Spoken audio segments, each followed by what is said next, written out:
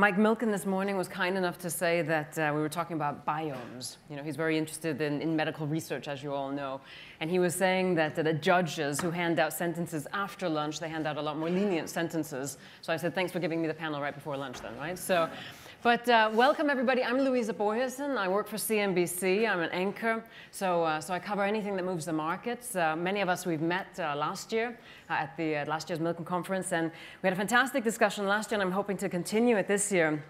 Um, I'll introduce my panelists in, in just a second. Um, I would just say before that, that a lot of the things that we're going to be talking about here would have been uh, uh, mirrored over from other panels. So we might just try to switch it up a little bit and take some new perspectives. Um, and Europe is a mess. I mean, we've been talking about this for a long time now. Uh, at the height of the financial crisis, the excuse seemed to be that uh, Europe was a political project, and that's why we couldn't solve some of these financial issues because Europe was a political project. And now it seems we have a political crisis or political crises, depending on which ones you're looking at, and we still can't solve anything. So how do we move ahead? Um, in terms of Europe, I mean, Mike Milken last night is the master of throwing out, and this morning, I interviewed him this morning as well, the master of throwing out all these facts. And when looking at Europe, you have approximately 12% of the world's population living in Europe, around 775 million people, a little bit less. Asia making up 60% of the world's population, China and India, 37%, Africa, 15%, North America, around 5%. So just again, keeping that in mind when we talk about migration. And I think it's interesting to think about how short our memories are. I mean, it's just a, a, couple of decades ago, really, that you saw refugees from Greece ending up in Syria, uh, having to be hosted in Aleppo, uh, being helped also by the Americans at that stage, and now it's a completely reversed situation that we're in. Um, Thomas Friedman like him or hate him, up to you. In one of his books, uh, talks about how the future is unpredictable. He says, be practical, expect the impossible. And he basically summarizes the last century, interestingly, in 20-year chunks, just as a reminder that, that we think that whatever we're going through now is going to last a very, very, very long time. Some things might, but many things might not. So he talks about how, in his book, that we're very globalized in the 1900s, the beginning of the 1900s. We come off the back of British and French colonization. 1920, the aftermath of World War I, uh, US had risen to power. In 1940, of course, Germany was coming right along and rose to power very quickly, gaining dominance. In 1960, a completely different story. It was very much the US that, uh, that, that was holding dominance at that point. 1980, you had the rising Soviet dominance. And then in 2000, we thought, well, now it's really all about globalization. Then 9-11 happened, and here we go, starting all over again. So it's very interesting to look at some of the things, I was thinking this morning, listening to some of the other panels, thinking about what's going on in our world now and what will happen over the next 20 years, what will happen over the next 20 years in Europe. And speaking of Europe, that's what our panel is about, the future of the EU, union or dissolution. Let me introduce my panel here next to me. Uh, I have Nigel Farage, and uh, you know him well. Um, Nigel Farage, leader of the UK Independence Party and member of the European Parliament. Um, to his left, we have Juan Maria Nin Genova, uh, president of the US Spain Council Foundation and former deputy chairman and CEO of CaixaBank as well. Here to my right, um, we have Howard Shore, executive chairman of Shore Capital. And out here on the flank as well, last but not least, Peter Beyer, uh, a member of uh, the German Bundestag. And, um, and I thought, listening to some of the comments that were made earlier, that we start with Germany, because uh, one of the comments that was made on an earlier panel was that Germany is never going to invade anybody ever again. Uh, and that. what, you, you, think they are? I'm not going to ask by a poll of hands.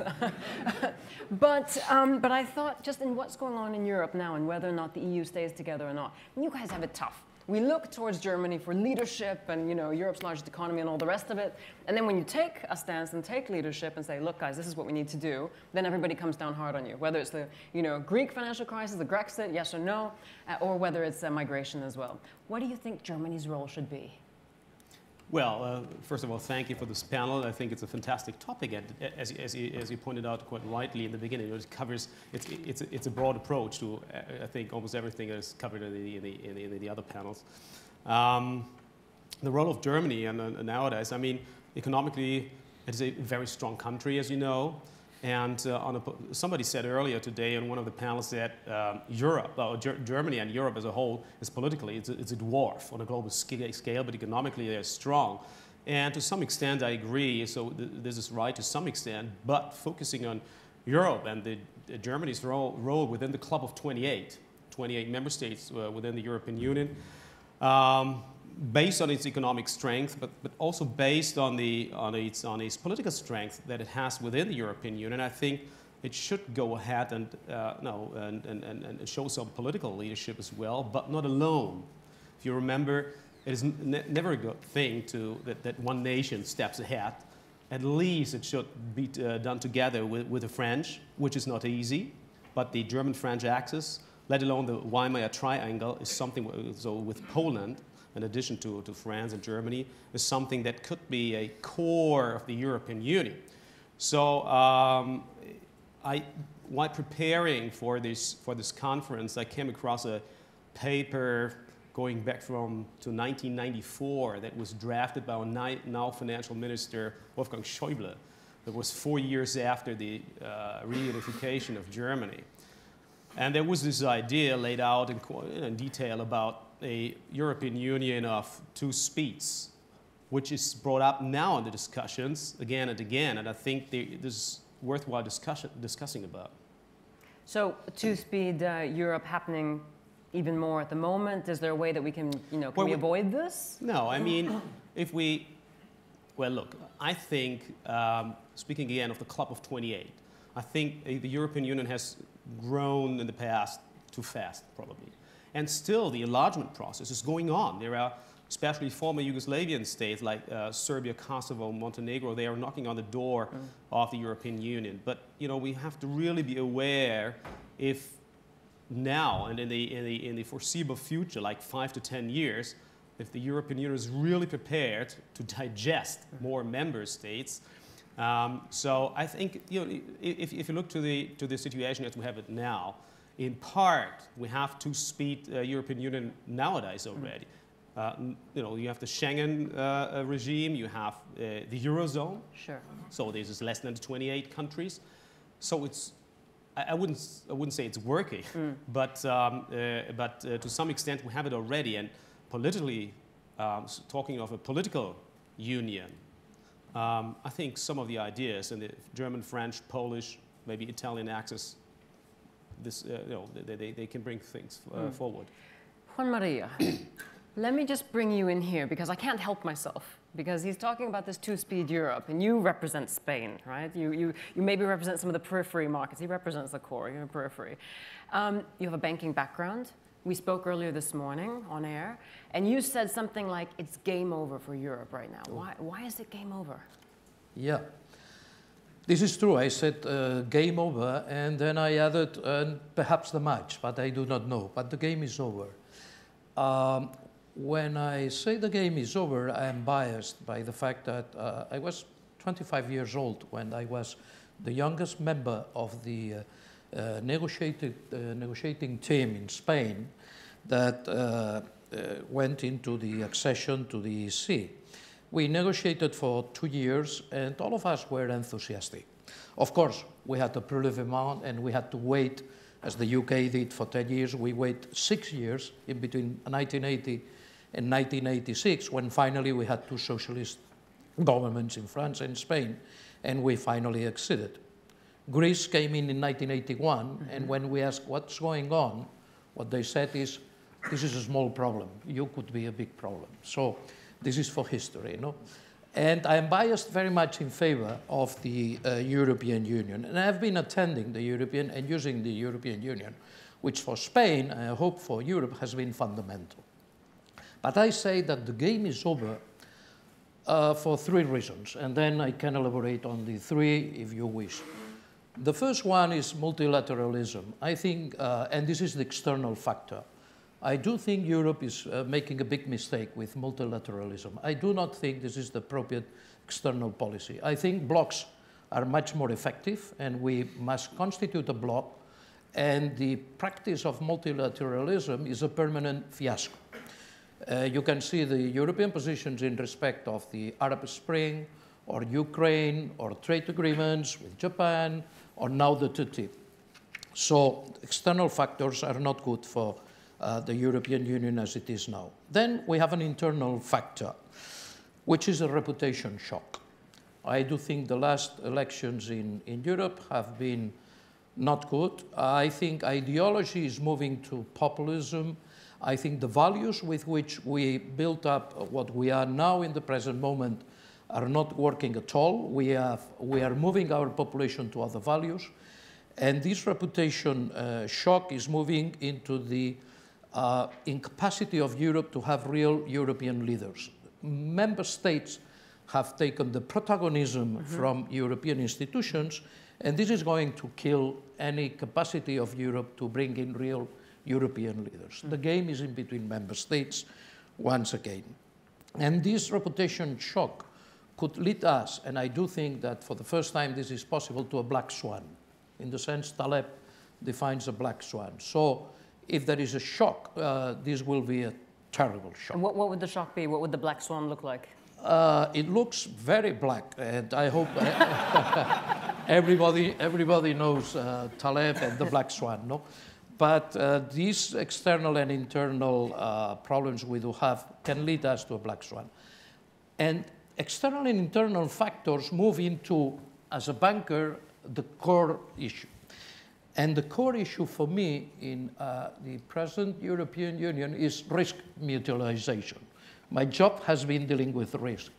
And I do think that uh, the scope of risk in between the 28 members, I think it's 28 or 30 or 35, it doesn't matter, so many members, it is impossible. There is no way to mutualize risk in Europe because the differences in between the countries, uh, more specifically mm. economic mm. differences and cultural differences are so sure. huge that this risk mutualization uh, I can assure you is not possible. So sure. this means that the cornerstone of the next step, if we want to bring in a real European Union, yeah. and the cornerstone is, just one second for the concept of, yes. of, of mutualization, is uh, the cornerstone is uh, the banking union and the fiscal union. With these differences of risk, this will not take place. And if it does not take place, and added to this, we do not have European debt, we have municipal debt, as US people like to say. Next steps uh, building up Europe, uh, I think, are not possible. So the game is over. We have to rethink in a new Europe, or at least two, three, or four uh, different velocity, okay. velocities for Europe okay. Speeds. Well, nice meeting you. It seems that we can go home now. That uh, it doesn't look very it doesn't look very optimistic, uh, Howard. It looks uh, it looks pretty bleak. Are you as bleak as this? I'm bleak about the prospects of uh, Europe unless we reform. Um, but the biggest factor to me is the social welfare in Europe. Whether we have an EU structure, we don't have an EU structure, whether it's two speed or one speed. If you even just look at the refugee crisis today, um, when my ancestors came to the country, they were uh, coming as uh, immigrants to seek a safer life and a better life. But you can be absolutely sure that if they didn't quickly learn to speak English and find work, they would have starved. Today, you can come and the welfare system provides a support mechanism where people won't starve and they don't have to assimilate. It's just one example. In, in, this country, the government have made a pretty good effort in terms of changing the risk reward from work and welfare to make it harder to access welfare and a better incentive to work by cutting tax. The problem in Europe is that we have this excessive regulation and a welfare system where too many people are working to feed too many, and that's going to get worse with an aging population. So whatever the structure, Europe needs to change to become more dynamic with less regulation to compete on a global basis. Vis-a-vis -vis the EU, I think most people in the room know it's a failed structure. But the question is, can it reform at all? And I think it probably can a bit. Um, and I actually think that uh, the UK's got quite an important role to play in that. Um, in, in, no small part down to Nigel and his efforts to um, promote a referendum there is a high level of uncertainty whether the UK stays or goes. Mm. Uh, I happen to think we'll stay, even though I think we should go, because I think the Prime Minister will tell everybody that he's negotiated a deal and we should stay. Nigel will probably disagree. But my, my, view, my, my, my, my view of the outcome is that when Prime Minister and the Chancellor come and say, I've got a deal, my recommendation, to the British public, is to stay, we will stay. But in the meantime, we've got a great opportunity to really turn up the heat on Europe. We just heard that the Germans dominate um, and that uh, with the French axis, they pretty much control things. So mm. this idea that you've got to get 26 people to agree or 28 people to agree, I don't, I don't think is actually true. Angela Merkel, I'm sorry to say, is in an incredibly weak position today compared to a few months ago. First of all, the Greek crisis we talked about, you said there wouldn't be a third bailout in LA. I said there would. Then you've got um, Well, then, then, then, then well, you've Peter got voted, Peter voted yes twice and then no. He said he wouldn't support it, yeah, but I said she'd push it through. So they've got that. She's got to admit to the German public that she got it wrong on Greece at some stage, and that they're not going to they're going to not pay a proportion of the debt. Now they've got a slowdown in Chinese exports. They've got the Ukrainian issue and yeah. Russian sanctions, and now they've got to pay for the refugees. It's inconceivable that she would allow a situation to go to the German public and say, I allowed Britain to go. We've got to make up the fiscal transfer. Mm. By the way, your car industry, by the way, the car industry, I'm sorry, we messed it up. Can you imagine the strength of the German lobby for Britain to stay in when they really understand that we might leave? So we can put a lot of pressure for Europe to improve and to reform, not to the level that I would like to see, but it can change a bit for the better if the government take a strong line. I want to come back to the issue of Germany and the pressure to be put on Germany potentially or, or, or not. Yeah. Um, but before that, Nigel, yeah. Um, what is it exactly that you would like to see? And, and, and if, we have to, if we have to remain in the EU, what would a new treaty look like? Uh, this concept of reform is baloney you know, I mean, I was, I was in Strasbourg last week. Uh, we had a visit from Mrs. Merkel, who, when she shook my hand, looked even more miserable than she normally does. Um, we had the Pipsqueak Hollande there. Um, and, and, of course, the, well, you know, 25 years ago, Kohl and Mitterrand were political equivalents. Now, uh, France has just diminished before our very eyes, and we're living. It's ironic, isn't it, that the project that was set up uh, because basically people feared uh, that the Germans would militarize again and for a fourth time uh, invade. Uh, I don't believe that was ever, ever a prospect. I think post 1945 Germany was never, getting back to where we started this conversation, was ever, ever uh, going to invade anybody. Uh, but it is a supreme irony that one of the main aims of the European project was to contain Germany, uh, and now what Mrs. Merkel says goes. Um, so they were both there in the parliament, and they were talking about reform. Um, and reform for Monsieur Hollande is that we have a full foreign policy and military policy without national vetoes and a European army.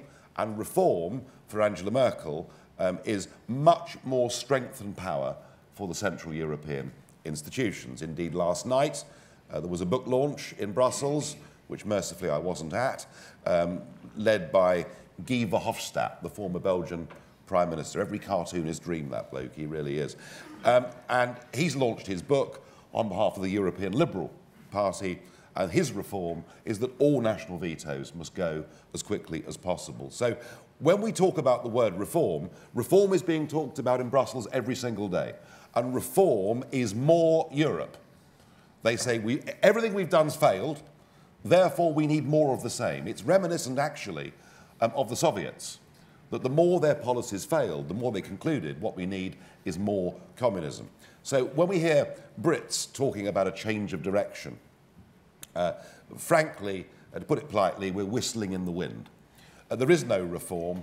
Um, there, is a, there is a nationalist fanaticism behind the European Union. You know, it has a flag, it has an anthem, it has a police force, it wants an army, um, it wants to expand you know, the former Commission President, Mr. Barroso, said we are, we are a, a non-military empire.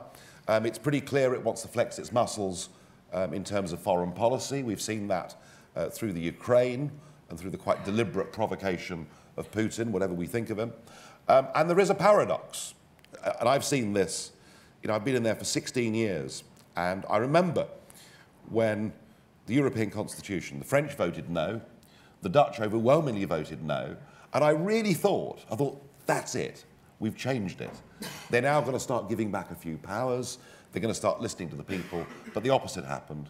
They rebranded it as the Lisbon Treaty and pushed it through. And the paradox is, at the moment, the more the project fails, so the migrant crisis, Merkel's disastrous call for everybody to come to Europe, regardless of who they were, when you've got opposition from Hungary, from Slovakia, from Poland, from Romania, uh, what happened? They used a trick uh, within the European Commission to force those countries against their will to take mandatory quotas. So that's the paradox. The more it fails, the more power it accrues.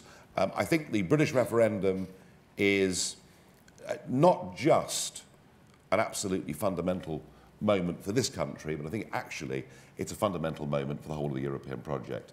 If Britain votes to leave, and I would say, I think it's 50 50 right at the moment, I genuinely think it's 50 50. If Britain votes to leave and shows within a year to 18 months that actually you don't need to be part of political union to buy and sell motor cars from each other, then I think you'll see countries like Austria, countries like Sweden, um, whose political parties will start to want the same thing. So my hope is that Britain votes uh, to withdraw from political union, uh, and that is the beginning of the end of a project that nobody in Europe has ever asked for or ever wanted, and that we, and that we replace the nationalism of the EU uh, by going back to that building in Strasbourg that was built in 1948. It was called the Council of Europe, and we can all sit round as civilized European countries around the table and agree on things that we agree on. But it's funny that you talk about European nationalism because I think Mm. many might think, well, actually, it's, it's, it's individual country nationalism that's springing up. I mean, we're, we're erecting borders made out of razor blades, some might say at the Well- moment, and borders have become a negotiating pawn as well. You know, Germany's saying, well, look, you know, you don't want to take in uh, refugees or migrants, poof, we're, we're putting back our border, even though, you know, we have the Schengen Agreement in, in place. I mean, Yeah, we have seen national interests begin to come to the fore again, um, you know, through the crisis of the euro and the crisis of the uh, migrant uh, of, of, of the migrant problem. But but but be in no doubt, you know, when they play that anthem in the Parliament, you know, they all stand there ramrod strong. I don't, but.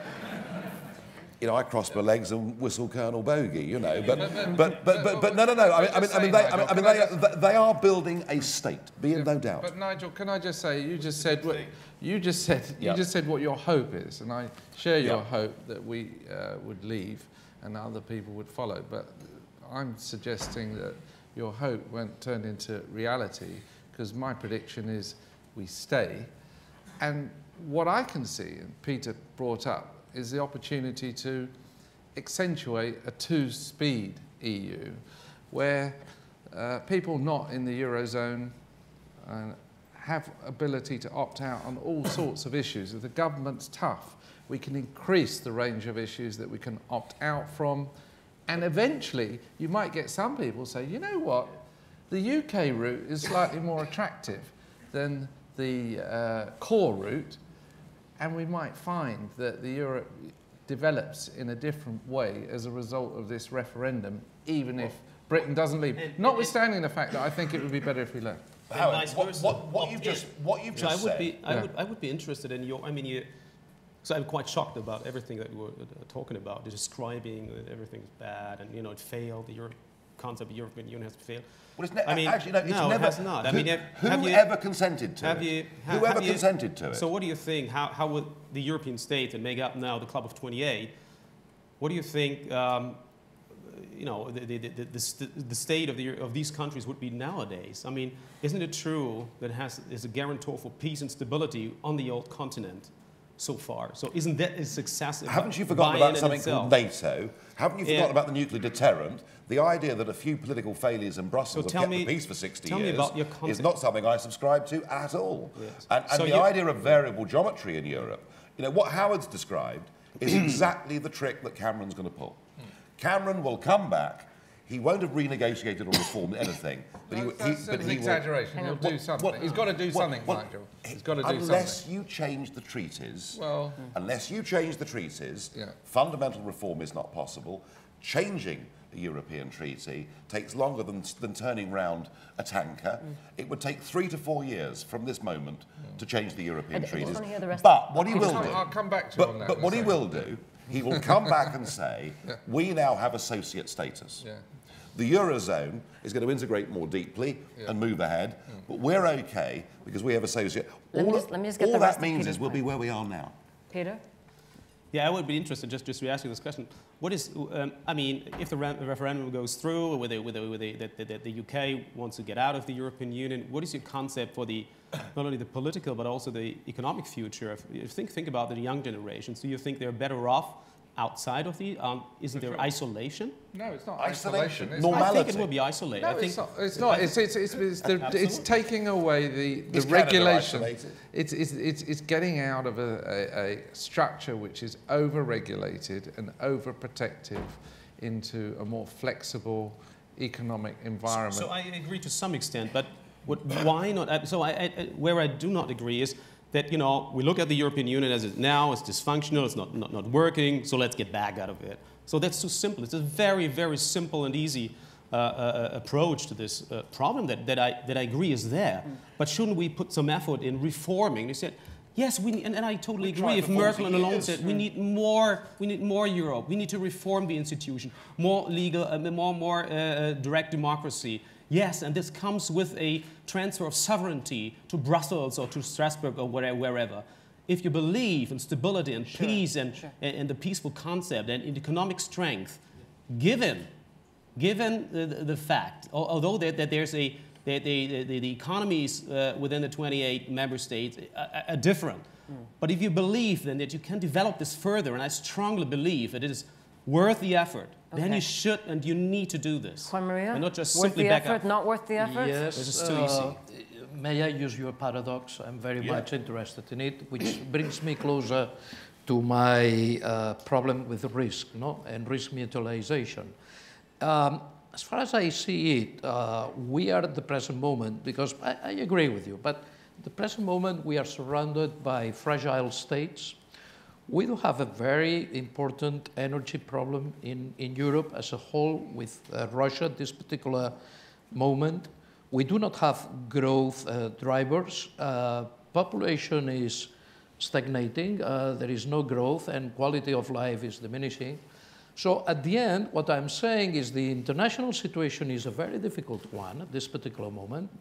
And added to this, uh, the future depends very much on the economic situation. Normally, I think bad politics drive in bad economics. But in the present situation, it is bad economics, bad economics, the ones that are going to bring in bad politics in, in Europe. And uh, one of the fundamental reasons that makes uh, the uh, next steps incompatible is, are these bad economics and uh, which bring in populism. So, with your paradox, the international situation, uh, bad economics uh, bringing in this, and the necessity we have to turn around the financial situation and bring in to Europe once again capital and savings, and no more quantitative easing, and no more liquidity, and no more financial decisions, unless, which is my final point, we come into the next step uh, back to several similar or capable European members of the Union and leave the rest to do the homework on a second, third, or fourth velocity, or the whole of the system will collapse. Once again, game is over. And now it is not a question of risk, it is a question of economics, which, of course, I repeat my argument, will influence politics. Um, why, why not try the reform first? Why not try? Because we've been trying for 40 years. But we haven't. I mean, to, to Every renegotiate single- a new treaty, renegotiate a new treaty. Well, this time around, renegotiate a new treaty first, and then after, you know, see if how it works, how it goes, and then after a couple of years, then have a referendum. Why Every single general election since 1974, every prime minister contesting it and every leader of the opposition against it has promised fundamental reform of the common fisheries policy, the common agricultural policy. Uh, Blair launched into a grand renegotiation, which finished up with us getting stuffed for seven billion on the rebate for nothing in return. Look, we, I think we're missing the point here. There is a bigger picture here. The European Union is a political union. It has a flag, an anthem, its courts are supreme over all of our national courts. Nobody in this country ever, ever voted for that. Nobody in Germany ever, ever voted for that. And what you've seen are the peoples of Europe have been corralled into a political state without ever giving it consent. I don't want to make the European Union better. I have no interest in that flag, that anthem. I don't want a European army. And I think the British Parliament and British courts should be sovereign. It's as simple as that. But so my problem is that I, I genuinely do not know what will happen if we leave. Well, I, all I, around I the world. don't know. Okay, It- all it around might the world. be better Well, and it might can be worse. Can I, can I say what, uh, what uh, a few million entrepreneurs said in, in, in the UK? Yes, we spoke about it, the, the, the study. Yeah, look, funded, yeah. look, we, we, we, we commissioned a study on what SMEs think of uh, the EU. Uh, they represent 60% of the private sector workforce and created 68% of all new jobs over the last five years. By two for one, they said the EU hinders rather than helps their business. Two for one. 80% said bring employment legislation and health and safety legislation back to UK jurisdiction. And nearly half said that they'd either pay people more money and or employ more people if we weren't part of the EU. So what the business people are saying is this system is a major hindrance to our success. Now, they're the engine of employment. What's the biggest problem in Europe today? Is unemployment. It's a tragedy for the youth of today. We were talking about it in Spain, the level of unemployment. They can't get a job. We've created 2 million jobs actually in the UK over the last five years, so it's been a much better, probably as many jobs as the rest of the EU uh, put together. And nearly all the jobs have come from SMEs. So we need to create an environment where these SMEs can thrive and give people employment. So my focus is on how can we improve the economic performance of Europe? How can we get people off the unemployment register, out of welfare, and back to work? Because the middle class are getting too squeezed and they feel very uncomfortable about it. And we're seeing that at every level. Even, even in Germany, I've spent a lot of time in Germany recently. Um, I've noticed that the, the, there's a sea change in people's attitudes towards the refugee crisis. Four weeks ago, all the um, educated uh, middle class people that I met said, oh, it's fantastic, we're doing the right thing. And, and now they're saying, now they're saying, hmm, not sure about this, it's going to cost a lot of money. So it could create right wing elements because of the financial pressures. Mm. And in, we need to ease the financial pressures by better economic performance, and we need to get people back to work. So mm. it's, it's nice to have ideals, But but, the man in the street needs to have a, a decent standard of It- living. It's also, you could argue, and this goes along the lines of what, what was being talked about at, at last, uh, last night's migration panel as well. I mean, it's pathetic the difference between Germany almost taking in a million people who need a place to go, you know, who need to get away from, from their homes, and, and Britain taking in 20,000 Well, I'll give you a very good. No, no, no, no, no, no, no. Lisa, uh, that's very unfair. First of all, Germany's got a. a true, Germany's got a demographic problem. It's got declining population. Ours is increasing rapidly. We're set to go from 60 to 80 million. They're set to go from 80 to 60 million. Secondly, obviously, um, the sentiment in Germany and the constitution of Germany is affected by what happened in the war and their attitude towards taking refugees generally. Uh, and thirdly, unfortunately, we're the major recipient of Eastern European migration as a result of the EU law, which allows people to freely come to the UK. And because we're the largest job creator, people want to come here. So we're getting hundreds of thousands of people coming from within the EU, and therefore we can't easily do the right thing for refugees. We should be doing more, but our, our immigration policy is flawed because we these- can't control the number of people coming come. to Germany and other countries as well. Sorry? But these people that you're talking about from East, uh, East, East, Eastern Europe are coming to other countries, including but- Germany as well. But the largest proportion are coming to the, the UK because they can get a job. We're a small island and we can't control the level of immigration from the EU. So two terrible things, uh, consequence. Number one, we can't get the smart brains who would like to come here from outside the EU. That's our biggest loss. And we also can't do the right thing vis-a-vis the refugee crisis. Um, Peter, I know you have something Yeah. you want your point. I also just want to ask you just to tell us about uh, TTIP and the, and the big, uh, um, you were saying there's a big uh, um, demonstration that happened here, here last, uh, last If you week. allow me, w- w- w- ju- just one, one sentence Yeah. to the to the to the uh, immigration issue, the refugee issue. Um, this is totally different because Howard was mentioning, you know, people now are now realizing, well, the refugees they cost a lot of money. I don't think it is about that they that it's going to cost a lot of money. Uh, you know, the salvation of, of, of Greece was also, you know, it was also costly, and people were upset. They didn't like it, but it was very abstract from, for, uh, for them. They didn't really feel it, and so they were still staying wealthy, and everything was fine. But uh, the, the 800,000, a million people coming just this year to Germany, the refugees, they can see them on the streets in their neighborhood. So this is very concrete. This is real. This, is, this has a completely different quality than the Greece uh, issue. So this is something, and you- you're absolutely right. The, the, the, you know, the situation, the, the sentiment within the society is shifting now to the, to the negative side, or at least people are wondering, hmm, can we really cope with the situation? What are we going to do? And But now coming, yep, With TTIP, yeah, that um, it, yeah. it surprised me. You, you told me this morning that something like 150,000 You know, um, people have I been mean, demonstrating against this, this trade deal. Absolutely. Last Saturday in Berlin, we had at least 100,000 people on the streets demonstrating against it. The organizers were saying it was 250,000. It was just one of these uh, demonstrations that we had over the past one and a half, two years against this free trade zone. Um, and this is exceptional within the European Union that in Germany there's so much anti-TTIP um, uh, movement, uh, you know, f- for various reasons. But um, people are afraid about lower, lowering standards with regard to environmental standards, uh, labor standards, uh, and these things, which is not going to happen because we're negotiating, or the EU is negotiating with the Americans to fix high standards. So I think uh, we will, especially Germany being an expert nation, uh, number one, two, or three in the world, um, we will tremendously uh, uh, uh, benefit from, from, from a free trade area. So I think, um, a- a- and last thing, it is not a German-U.S. thing; it's an EU-U.S. thing, and I think it is it is the most important transatlantic project of the past decades.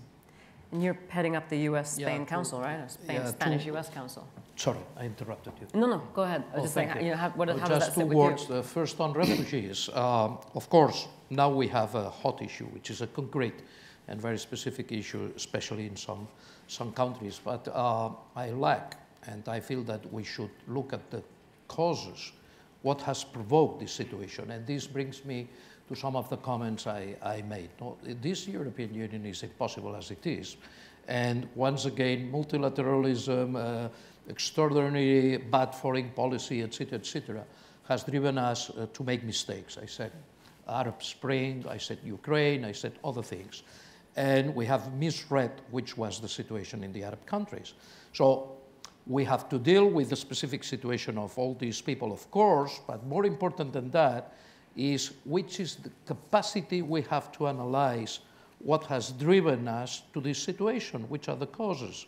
And this, once again, is not possible because differences are so big that I think a line of action in order to solve the origin of the problem, will, I will not see it. Second, of course, unemployment is the most important issue in, in Europe. I am of the ones that thinks that on the uh, risk scenario, we will never recover full employment as we understand it nowadays. So we must get used to another kind of employment or bring into the system a different way to employ people. And this is uh, disruptive, but we have to think about this, these things. But what is very clear for the time being, and it's another uh, concrete and specific issue we are dealing with, is that unless we jump into these TTIP negotiations as serious people, forget about transparency and all these uh, things uh, media like to have on this important. I've never negotiated in my life, never ever negotiated an important deal with transparency. It's killing yourself.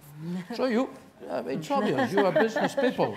You have to negotiate, and when you finish the negotiation, you have to pass it for approval. TTIP, tip, to tip, the negotiation with United States in this very moment for you, European Union is fundamental, because behind the TTIP there is a geo strategic and geopolitical issue, which is do we go back to the Washington consensus? Do we make an effort to stay with the United States in the world, Mm. which is not multilateral, in a bloc that really will give us the values of John Stuart Mm. Mill or Hume or uh, all the people Sure, which sure. have been in our base? Or do we go on to demonstrations feeling that uh, with uh, a lot of demagogy, may I say in English, around the tip? Because if we jump into the tip, not only it's a geostrategical move, but the most benefited part of the economy are small and medium-sized companies, by definition. These are the ones that are going to improve. And if SMEs improves, and this is the specific value of the TTIP with the United States, employment will improve. If we do not jump into the TTIP, and it looks like if we are not going to jump into it because we have these demonstrations and press and far left uh, positions and populist positions, we will miss another opportunity. No Nigel- way, no way Yeah. with Yeah. present destruction. Just a comment on the word refugees was being bandied around. Just bear in mind that 80% of those who are coming to Germany aren't refugees at all. They are economic migrants. We've completely lost any sense of definition. I mean, you know, go back to Geneva. I've, I've seen different numbers, but uh, well, I, I think it depends well, on which I mean, numbers. the, I mean, the Slovakians say 90% aren't. The Eurostat figures, so the European Union's own statistical data centre tells you that 80% aren't. And, and we've forgotten what a refugee is. And I, I, I would be all for Britain doing as it's always done, helping genuine refugees. But Howard made the point very clearly 642,000 people settled in Britain last year. Our appetite to take larger numbers of even genuine refugees has been diminished because of this. TTIP is very interesting. Oh, sorry, but sometimes we don't have a choice. You know, I mean, Oh, they we didn't, do. They didn't ask for things to happen in the Middle East like that, and you know, and and, and, and Yeah. you know, and again, we've we've all had to move or flee or migrate or something at some point. It just depends on how far back what you go Juncker in history. did, what Juncker did in April was to dust down the European Union's common asylum policy. I criticised it on the 29th of April. I said, if you go down this route, if you redraw the definition of what somebody qualifying for asylum is, I said there'll be an exodus of biblical proportions. And that's what we're beginning to see. So the don't you want to stay in Australians, the EU then you have a say in, The in how, and how to negotiate this? we, we I mean, we, we didn't give up our borders to, to begin with. We, I mean, Britain- Schengen's there. We still have borders. Britain doesn't have a say. I mean, there are 40 times since David Cameron became Prime Minister that he's gone to the Council of Ministers and opposed something, and he's lost on all 40 occasions. So let's not pretend that Britain's listened to in Europe. It isn't. but um, the border will be moved from Calais to Dover if we opt out. Well, that's fine. I We, have, we, we rely on the We French on, on negotiating with the rest of Europe now. we don't have to take illegal immigrants if we don't want to. The Australians faced exactly the same crisis with people migrating from Southeast Asia by boat, all the same problems, criminal traffickers, boats sinking, people drowning, all the same things. And the Aussie, the Aussie Prime Minister said, very simple, he put notices up in all the countries they were coming from. If you come to Australia via this route, you will not be allowed to stay. And the boats stopped coming, and now the Australians are taking some genuine refugees and trying to deal with some of the problems back in those countries. So I think that needs But you sometimes don't have a choice how you leave your home. I mean, I was in Syria a while back, and you know, I mean, you know, I mean, it, it, you, you don't have a choice how you leave. Well- you know, you sometimes you have to leave in Well- the middle of the night with nothing, right? You just Well, go. no then- one's, n- nobody is arguing that there aren't some genuine refugees who are fleeing in fear of their lives. What we are arguing is that on top of that, you know, there are hundreds of thousands of people who are using this as an opportunity to be economic migrants and get to Europe. And, and, and that is not what should be happening here. And dare I say, on top of that, we have the ISIS threat. Uh, when ISIS say they will use this to flood Europe with their jihadists, we probably ought to take them Can I seriously. just say Just more before, positive before you note? say that, we'll, we'll open up for we'll open up. Just have a one positive, one positive note. I'd love maybe. a positive note. We'll open up for questions uh, just after these comments. So get your questions ready. Well, the only the positive note is, of course, uh, what actually the Germans are going to be doing and other North European countries is reflating. Everybody's actually asked Germany to spend more money. As a result of the refugee crisis, they're going to reflate and spend more money. So, in the short term, the economic uh, performance of the Eurozone might be slightly better than uh, it would have otherwise been. And in the longer term, from bringing in people who, eventually we'll be able to work, hopefully. The, the, the longer term depends on how well you integrate people into society and get them into the workforce. And that comes back to my point. If you make it too easy and they can just live off welfare, you've got a big problem. If you say Sure. the welfare is not accessible, you've got to go to work, it's different. Peter. Yeah, uh, two things. First of all, I think it, it would be an illusion to think that we can uh, you know, fill in the gap of, of qualified workers in Germany that we need. Uh, no, but just by, by means of the refugees. I think it's complete illusion. It's completely something that is out of the question. This is, this is uh, something will not work. Second thing is, uh, just to get this right, to Nigel Farage, um, yes, uh, Merkel said uh, a couple of weeks back, no, we can, wir schaffen das, we, we can cope with the situation. She didn't ne- never say, you know, everybody's welcome to come, but she said, we, wir schaffen das, we, we, can, we, can, we can manage it. Which is a very bold statement to do, and with the consequence that, that we saw afterwards. Um, and, uh, but it is, it, is, it is not right to say that, that everybody can stay in Germany. And we have, a, we, are, we have our immigration laws in place, but everybody can enter the country and you know, uh, has a right to, to, to file for, for, for, for a legal process. And at the end of it, it's determined, it's decided by, by the courts of law, you have to leave the country. That is where we have problems, that they actually have to leave the country because by that time they're already distributed all over the country. So sometimes you don't even know where they are. This is the, on the practical level, uh, uh, the problem. So we have the laws in place, we just need to apply them very strictly, and then really we can't cope with the situation. Okay.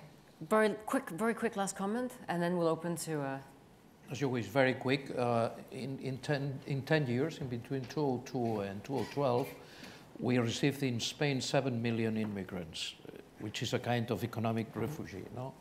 This means uh, we were 40 million, now we are 47 million. The lesson we have learned is that on the short term, this is a huge impact, more specifically on unemployment.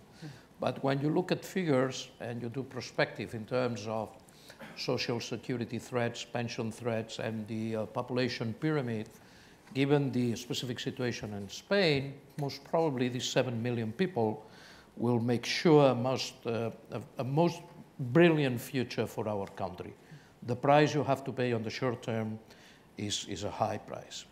so, just do we have microphones out there now? Any questions? Yeah. Okay. Yes. I'm not sure who has the first. Is there a microphone somewhere? Yeah. Yeah. Hi. Um, Just sorry. Say who you are and Oh, just who you're directing it to. I work for a family office. Um, Peter, if uh, Germany were Switzerland today, would you really want to join the, the EU? And um, do you think that Switzerland is isolated in the context of, uh, would, would that not be a good model for what the UK might look like outside of the EU? Well, I think Switzerland is doing pretty fine now, but, but as you know, they are, they are not formally a member. That they have agreed, they have signed so many tons of agreements uh, with the European Union, so they have a lot of the European uh, legal standards they already have in place. So there's a, a very close connection already in place. Uh, I don't know, know so much about Switzerland. I know a lot about or I know know more about some of the former Yugoslavian states like Ser- Serbia, Kosovo, Montenegro that I think, I don't know if I mentioned it earlier, who are knocking on the door of the European Union, and some are even not only have a candidate status, some are actually already negotiating, like Serbia and Montenegro, uh, with the European Union for membership. Uh, it's a tough way for them, and uh, we shouldn't make the mistake that we did with Bulgaria and Romania in earlier days, or maybe even with Greece, I don't know. Um, uh, in earlier days that, that, you know, that they were welcomed and they were uh, made a full member of the European Union without even meeting the standards uh, legally, corruption and democracy and all these things that really causes problems now, also in the TTIP negotiations, by the way. Um, so, uh, I mean, the, the EU, con- the concept of the EU still seems to be very attra- a very attractive concept and model for some of the countries out there that are, you know, our neighbor states. And, but again, I mean, we should, we should, this enlargement process is, a is something that, uh, where we should not do the mistakes of the past. So um, we have to take care, and it's, it's for the better of the countries and the people living the countries themselves, that they reach the European standards, fight Sure. against corruption, organized crime, and all these off. things before. Just to get to other questions as well. Yeah. You look like you're bursting to say something. Well, too. only that it's obvious that if you're a much poorer neighbouring state, you'd like to join the EU because you think there might be some fiscal transfers. You can benefit from the credit rating of Germany to get cheaper money potentially. What we're talking about, I think the, the, the gentleman asked the question, would the UK be better out, not would Serbia be better in? And it's a different and it's a- and it's a different economic equation. You might want the UK to stay for other political reasons, that's uh, an individual point. But from an economic standpoint, it's obvious that if you had the Swiss model, we could have many of the benefits without having so much of the downside. Okay, And that's, I let's- think, the the central obligation. point. Let's let's get to some other questions. Just have to yell where the microphone is. Yeah, we've got lots of questions over here. So yeah, please just uh, gentleman in the- front, please. Uh, Thank you. Uh, uh, John Jones from, from Allenbridge. Um, Howard talked about SME businesses and their concerns in the UK about red tape, and, and, the, and that frustrates economic growth. I mean, given all the problems in the EU with, with economic growth, are those concerns shared by SME businesses in Europe, or is this just, just a peculiarity to the UK? I think the truth of it is that the, that the EU is dominated by the big corporates. You know, the big corporates have their lobbying offices in Brussels. Uh, some of the commercial companies have 10 or 15 full-time lobbyists. They work and meet hand in glove. that There are over 3,000 committees established at the European Commission, and they work with the European Commission to propose legislation. And we finished up with a model. And one of the reasons we've got so much legislation is because it is the big firms that are driving this legislation forward, um, and the small companies have very little voice. I've certainly met delegations from the European Small Business Federation where these similar arguments are taking place in other parts of the continent. Uh, but it's interesting when we talk about, Howard talked about small business and the amount of, of, of jobs that it creates in Britain. Interesting that, you know, only 15% of Britain's GDP is exports to the European Union. And yet being part of the regulated single market means 100% of our economy is regulated by those rules to seek, to seek 15% of our business. And I think, you know, the arguments, and they may sound a bit Reaganite, but the arguments that companies with fewer than 20 employees should be opted out of much of, that, of, of this stuff um, is one that I would like a post-EU Britain to put into place. Let's get some more questions. Uh, I see we have four minutes left, so I ask your questions to be short and the answers to be short as well. Please, there's some more hands over here as well. Uh, you just pass them. Yeah. Um, with so much uh, unemployment in southern Europe, Spain, Portugal, Greece, where I come from, and even in France, um, let alone unemployment in Poland and in other Eastern European countries, uh, I don't understand the argument uh, that Germany needs skilled workers and there is a shortage, so they have to import all the refugees from Asia and Africa, where southern Europeans have the highest rate of unemployment ever, and they still cannot get to Germany enough. Yeah, that's what I said earlier. I don't think that that that, uh, uh, that it is the way to go. To that that we you know the, the, the shortage of skilled and qualified workers that we can fill in the gap with the refugees. Um, I know that there are several programs actually addressed to. Uh, to, to the so-called periphery countries, to, to the, I mean, the, the, the, the unemployment rate, uh, rate against, uh, amongst youngsters in Spain is ex extremely high, and there are government programs on the government-to-government level running to attract and actually attract young people in Spain and in other countries to come to Germany. And there are a lot, I mean, you see see a lot of media coverage on this. A lot have come already Yeah. to Germany. So they have, they have this opportunity. Maybe it's not done, where Germany cannot solve the problems in Spain and other countries, in Maria? Greece. But again, I mean, there are programs uh, uh, already in place, and I, I think quite successfully. The most positive experience we do have is for Spanish engineers or architects or doctors in medicine, etc., etc., moving into Germany. Germany is the country where at this, uh, at the present moment, young people living in universities in Spain are more successful. And 100% of the feedback I do have from these people is, as I said, very positive. Okay. Due to two reasons, how the government organizes it and how the country uh, recognizes the value of these people. Let's get some more questions as well. Some more hands back here. Uh, hello, Alexander Ahari from Redington. Um, question directed um, probably uh, to, to, Mr. Farage. Um, I don't recall us um, signing up to the Americanization of our culture, our institutions, um, you know, the effectiveness of Trident. Um, so I'd like to get your thoughts and opinions on the perceived lack of independence we have from the United States. I'd also like to get your opinion on um, briefly. The, yes, very briefly, just very quickly. Um, the corporate um, inability for us to uh, fund and maintain sovereign or strategic assets within the United Kingdom and the influence of institutions like Qatari Diar um, and their procurement activities. Okay. In about a minute. All right. Well, culturally, I find much of the food my children want to eat and the television they programs they watch from America absolutely loathsome. I agree with you entirely. But there is nothing I can do about it because that's their freedom of choice to make those cultural decisions. Uh, the difference is this what we've done, we've been signed, I know time is short, we've been signed up 40 years ago to something called a common market. We didn't realise that what it meant was we would lose the supremacy of our parliament, the supremacy of our courts, and the control of our borders. And what I'm arguing is for us to divorce ourselves amicably from political union and go back to being a normal country. Okay. Do we have time for one last question? I think we do before lunch. One last question. Yeah, there's a woman in here as well. Should we do two? If we do like one minute, yes. Uh, good afternoon. My name is Ailish Murphy, and um, amongst many other things, I am a migrant. Um, my question is directed actually at Mr. Farage. He talked quite a lot about um, us not having voted to become part of this. We are now facing that vote. And if we do vote to stay within the European Union, what's his stance going to be going forward? Will he then look to reform? Well, we can try to reform, but it won't get us anywhere because what the word reform means to us, it means the complete opposite in Brussels. Reform in Brussels means deeper centralisation, the paradox that I talked about earlier. And last question right there in the middle.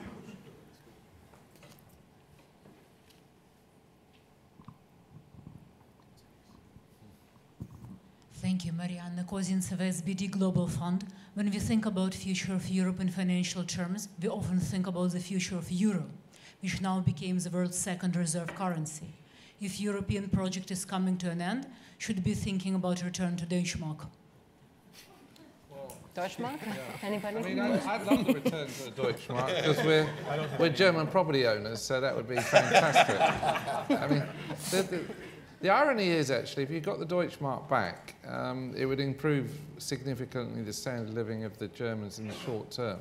Of course, the export lobby would be uh, massively against it, but it's, it's, the arguments in favour of a higher or lower currency are never as simplistic. This idea that a cheap euro is necessarily good is, is not necessarily the case for the consumer, certainly in the short term.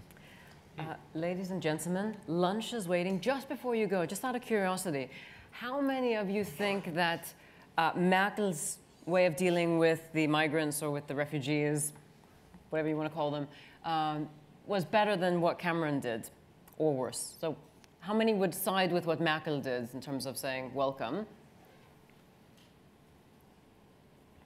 And how many would side with what, what Cameron did initially? Which was more hesitant. Okay, so about about 50-50 in, in this room, no? I'd say, more or less? Yeah, more or less um, and also, I just ask you, just talk to each other or think about as we head into lunch, uh, very last thing, if there's one word that, uh, that you could use to describe Europe, what would it be? And what would you want your children or your descendants to describe Europe as in 20 years? What would that one word what would you like them to use? What do you think they'll use about Europe in 20 years? Just something to think about as we head into lunch. Anyway, thank you very much. Thanks a lot.